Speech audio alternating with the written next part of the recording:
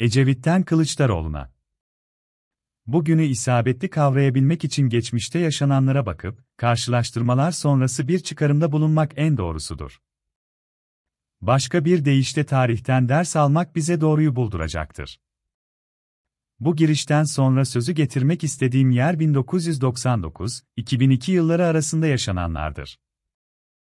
Marmara depreminin de etkisiyle DSP-MHP ve ANAP koalisyonu döneminde ekonomik sıkıntılar ve hayat pahalılığı çekilmez noktaya gelmişti. Çaresizlik ve umutsuzluk o kadar hakim olmuştu ki kimse ne yapılacağını bilmiyordu.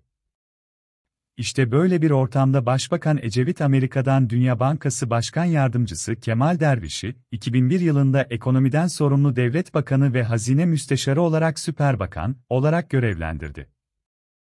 Olağanüstü yetkilere sahip Derviş disiplinli bir programı uygulayarak kötü gidişi kısa sürede durdurmuş ancak geniş halk kitlelerinin feveranına neden olmuştu.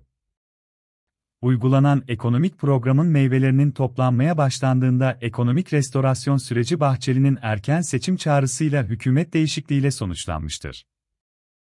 Türkiye ekonomisinde uygulanan bu acı reçete sonuç itibariyle DSP, ANAP'ın tamamen MHP'nin ise geçici olarak tasfiyesiyle neticelenmiştir. Kemal Derviş politikaları ekonomiyi düzeltmiş fakat Ecevit hükümetinin başını yemiştir. O dönemin meyvelerini daha bir senelik parti olan Adalet ve Kalkınma Partisi derlemiş, 22 yıllık Cumhuriyet döneminin en istikrarlı hükümeti ortaya çıkmıştır. Yemeği Adalet ve Kalkınma Partisi yemiş, faturayı Ecevit başkanlığındaki Milliyetçi Manasol hükümeti ödemiştir. Ne yazık ki Marmara depreminden iki kat fazla canımızı kaybettiğimiz, ekonomik bilançosu ise, o günün tam dört katı olan 6 Şubat depremi ile Türk ekonomisi daha büyük bir krize girerek tarih tekerrür etmiştir. 6 Şubat sonuçlarını bir kenara bırakarak aynı dönemde hayata geçen Cumhurbaşkanlığı hükümet sisteminin dayattığı bir olaya değinmek istiyorum. Ekonomist derviş yerine siyasetçi Kılıçdaroğlu üzerinden değerlendirmeler yaparak bugüne ışık tutmak arzusundayım. CHP'nin 31 Mart 2024 başarısının gerçek kahramanı kimdir sorusunun cevabını gelin birlikte arayalım. İyi bir polemikçi, disiplinli bir siyasetçi olan Kılıçdaroğlu Baykal'ın istifası sonrası genel başkanlığa gelmiş ve kısa sürede CHP'yi yeni seçmen kitlelerine ulaştırabilmek için çalışmalara başlamıştır. En az %90'ı sola oy vermem diyen %75'lik sağ seçmenle diyalog yolunu açmıştır. Yeni sistemin mihenk noktası olan 51'e ulaşmanın ancak bu kitleden oy almaktan geçtiğini akıldan çıkarmadan Solsa ittifakının yolunu açmıştır.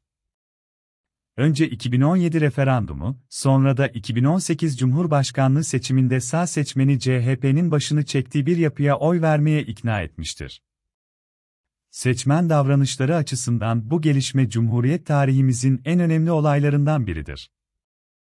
Bu kadar önemli olaylara imza atmış olan Kılıçdaroğlu, 2023 seçiminde aday olma ısrarı nedeniyle başarısına gölge düşürmüş, elinin en güçlü olduğu dönemde genel başkanlıktan en yakınındaki Özgür Özel tarafından alaşağı edilmiştir. Tıpkı rahmetli İnönü'nün Ecevit tarafından tasfiye edilmesi gibi. Tarih yine yapacağını yapmış Kılıçdaroğlu bir bakımdan İnönü ile bir bakımdan da Ecevit ile aynı kaderi yaşamıştır. Türk sağında kesinlikle sola oy vermem, inancını kırmak için mükemmel bir stratejiyi sabırla ve adım adım uyguladı. Kılıçdaroğlu bir türlü %25 psikolojik direncini aşamayan CHP için sağ açılım anlamına gelen Millet İttifakı'nı altı partiyi aynı masanın etrafında toplarken, masanın altında da HDP'yi tutmayı başarmıştır. Ne var ki İmamoğlu veya Yavaş ile alabileceği bir seçimi şahsi hırslarına kapılarak Erdoğan'a hediye etmesi onu da tıpkı Ecevit gibi koltuğundan etti. Bugün ortaya çıkan başarı Özgür Özel'in hanesine yazıldı. Şimdi geriye dönüp baktığımda hem Ecevit'in hem de Kılıçdaroğlu hakkını teslim etmek gerek diye düşünüyorum.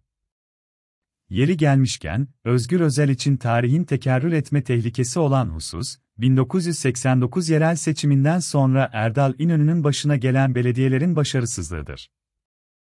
Öyle bir durumda siyasetten kopmayan, köşesine çekilmeyen Kılıçdaroğlu tekrar CHP'nin başına geçmesi söz konusu olabilir mi? Bunun cevabını bir iki yıl içinde alacağız. Tabii bir de madalyonun öbür yüzü var. Bütün bu yaşananların sağ bloktaki etkileri hangi sonuçları doğuracak? Buna sebep olanlar veya tedbir almadan seyretmekte yetinenlerin tarih önündeki sorumlulukları ne olacak? Onu da bekleyelim görelim. 26 Nisan 2024 Manisa Son Haber Ahmet Orhan